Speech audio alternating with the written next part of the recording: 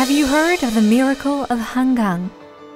Restoring a war torn nation to Korea, becoming one of the leading world economy nations, people call it the miracle of Hangang.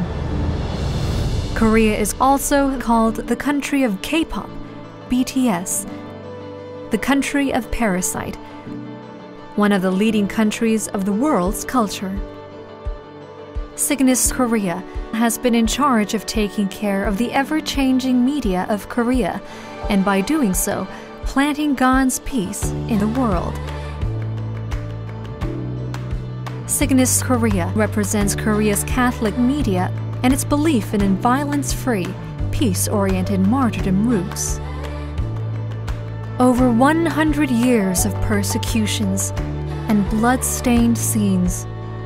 These people only believed in proving their belief and faith and choosing God.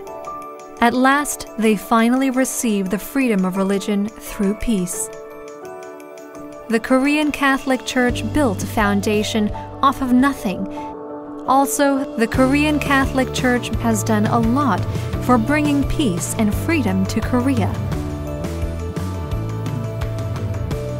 237 years of the Korean Catholic Church, a history of martyrdom and devotion. Now, SIGNIS Korea will create a new history